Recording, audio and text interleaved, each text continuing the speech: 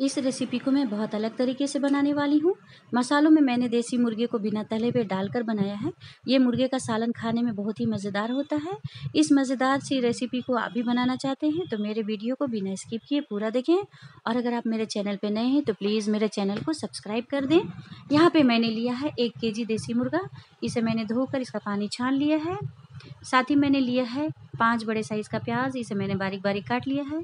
कुछ सूखे मसाले लिए हैं, जिसमें मैंने लिया है दो चम्मच ज़ीरा पाउडर, एक चम्मच धनिया पाउडर, एक चम्मच गरम मसाला पाउडर, आधी चम्मच गोलकी पाउडर, एक चम्मच हल्दी पाउडर और कुछ खड़े गरम मसाले। साथ ही मैंने यहाँ पे लिया है नमक, हरी मिर्च, लाल मिर्च का पेस्ट, अदरक, लहसुन का पेस्ट और प्याज का पेस्ट। तो चलिए मैं फटाफट से इसे बनाना शुरू करती हूँ।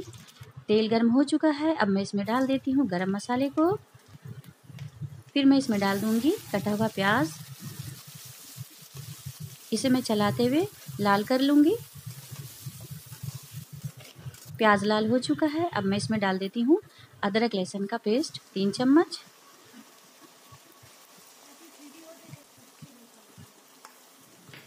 इसे मैं मिला लूँगी। अब मैं डाल दूँगी प्याज का पेस्ट, दो चम्मच।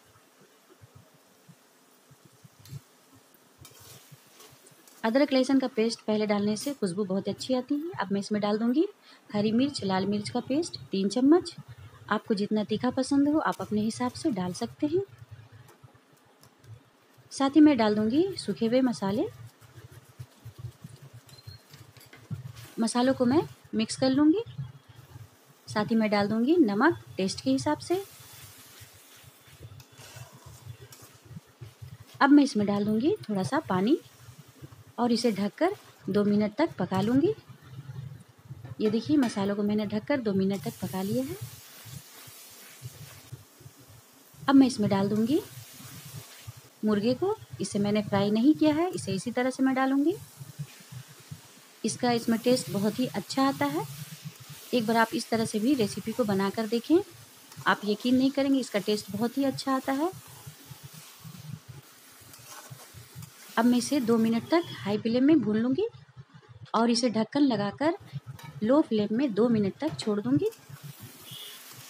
अब ढक्कन खोल कर मैं इसे फिर से तीन से चार मिनट तक भून लूँगी।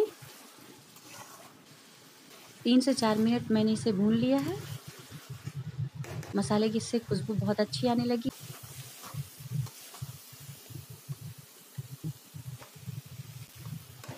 अब मैं डाल दूँगी पानी को।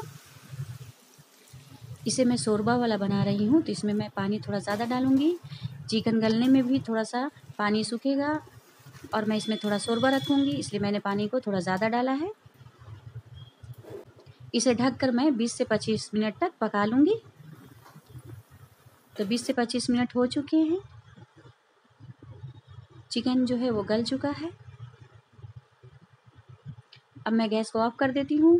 अब मैं इसमें डाल दूँगी कटी हुई धनिया की पत्ती।